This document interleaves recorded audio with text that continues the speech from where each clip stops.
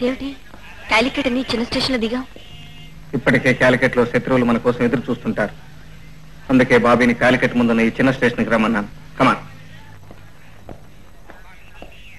hello hello welcome. How is journey బాబోయ్ నేను బాబీని. మాస్క్ వేసుకున్న గుండాను గాను. ఐఎమ్ ఏజెంట్ ట్రిపుల్ వన్ చప్పల పగల కొట్టద్దు. ఏడ్చాలేవా? ఏమైనా కూపీ లాగావా? లాగాను మిత్ర కూపి లాగాను. ఎక్కడుందా ప్రదేశం? ఊరి చివర ఉన్న రాజా గారి మేడే వారి స్థావరం.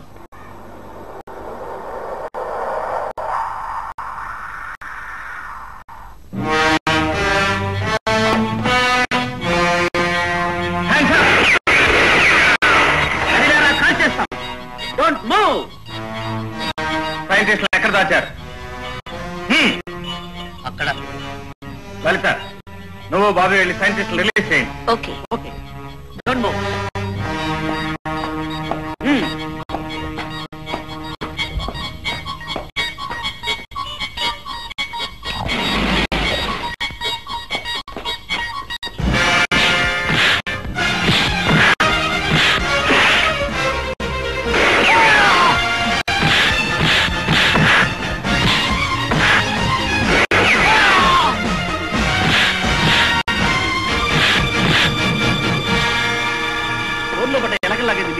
మీ భార్య బిడ్డలు ఎంత బాధపడుతున్నారో ఏమో. బాబీ.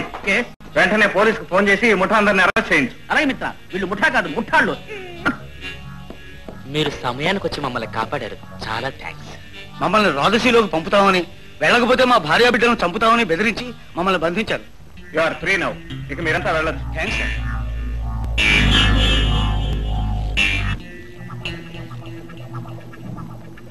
ఆ గూఢచారి గోపి సామాన్యులా లేడు. అతన్ని బతకనివ్వటం మన మెడక మనమే ఉరితాడు బిగించుకోవడం అవుతుంది.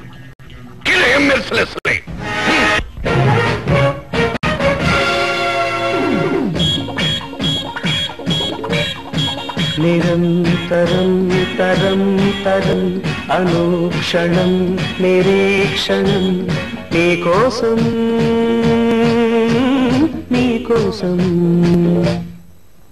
నిరంతరం తరం తరం అనుక్షణం నిరీక్షణం నీకోసం నీకోసం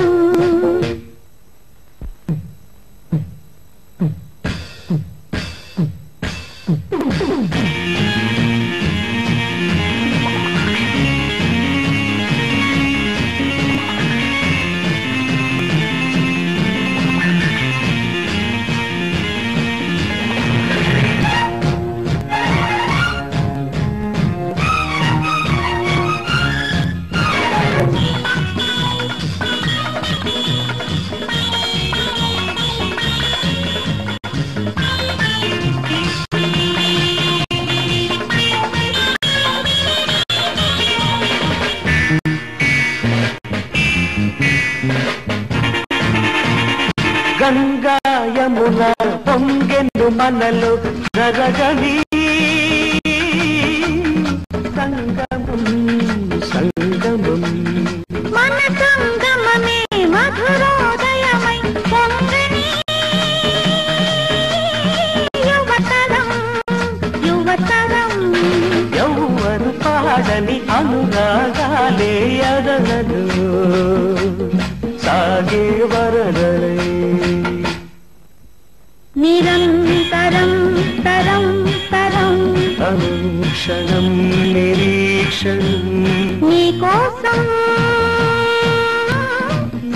i'm ocean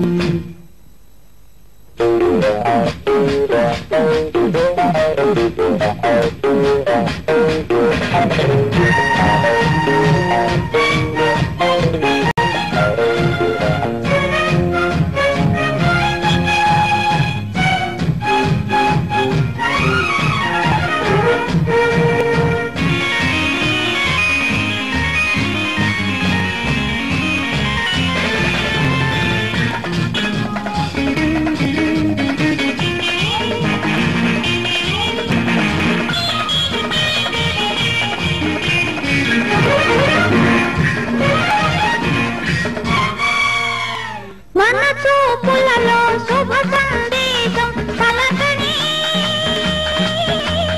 ప్రతిక్షణం అనుక్షణం. మన ప్రేమాదేశం ప్రగలని అనుక్షణం ప్రతిక్షణం. మన సందేశం ప్రతిరోజు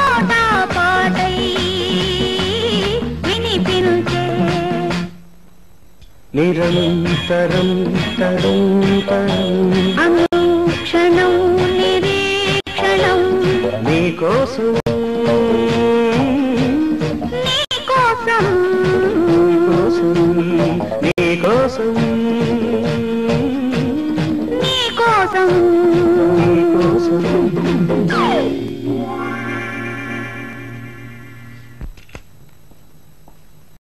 లలిత రేపో మాపో మనం స్పెషల్ రాకెట్లో ఆ స్కై ల్యాబ్కు బయలుదేరాలి. మనం చూసిన మదర్ క్రాఫ్ట్ డిజైన్ మనం ఫైనలైజ్ చేసి చీఫ్కి అందజేయాలి.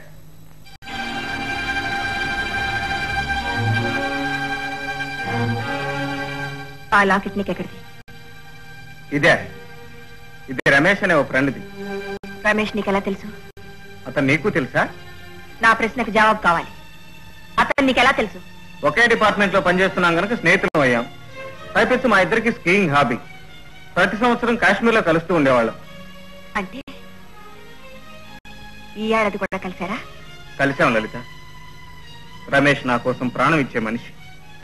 ఆ రోజు అతనికి ఏమైందో ఏమో. నన్ను చంపాలని ప్రయత్నించాడు. ఆ ఘర్షణలో అతని మనుషులు కాల్చిన బుల్లెట్ తగిలి అతనే చనిపోయాడు. రమేష్ నువ్వే నువ్వే చంపావు. నమ్మిన స్నేహితుడిని నమ్మించి గొంతు కొట్టావు లలిత! నిన్నే గురువుగా దైవంగా భావించిన అమాయకుడిని పట్టణ పెట్టుకున్న కిరాతకుడివి నువ్వు. లలిత! ఏమిటి నువ్వు అనేది? రమేష్ నీకెలా తెలుసు? మేమిద్దరూ ఒకే రక్తం పంచుకు పుట్టిన వాళ్ళం. రమేష్ మా అన్నయ్య. అలాగా?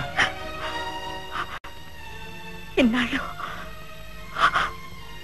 మా అన్నయ్యని పొట్టన పెట్టుకున్నా ఈ రాక్షసుడితో నా నేను స్నేహం చేసింది?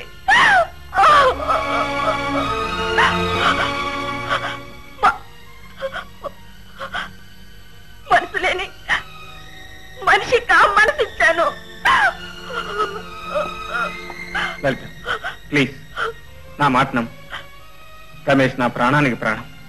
అతన్ని నేనెందుకు చంపుకుంటాను? ఆ రోజు మంచు దెబ్బల్లో కప్పబడిపోయిన రమేష్ కోసం ఆ కొండంతా గాలించాను. ఈ లాకెట్ తప్ప మనిషికి కనిపించలేదు. మనిషి దూరమైన. మనసు నుంచి ఆ రూపం ఇంకా దూరం కాలేదు. అందుకే ఈ గుండె దగ్గర వాడి గుర్తుగా ఈ లాకెట్ ఉంచుకున్నాను. నన్ను నమ్ము లలిత. గుండెల్లో విచ్చుకత్తులు దింపుతూ ఇది నీ మేలు కోసమే నేను చంపుతున్నానని చెప్పి నమ్మించే నైవంచుకుడివి నువ్వు. నో నువ్వెంత చెప్పినా ఏం చెప్పినా నేను నమ్మను.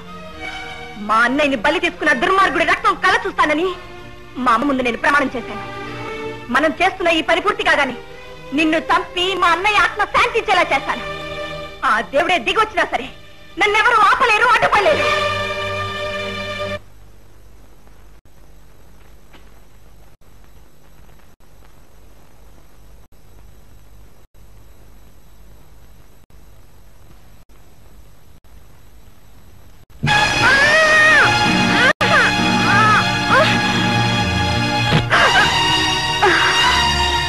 ఏమే ఆ రోజు నడి రోడ్లో నన్ను కొట్టావు కదా?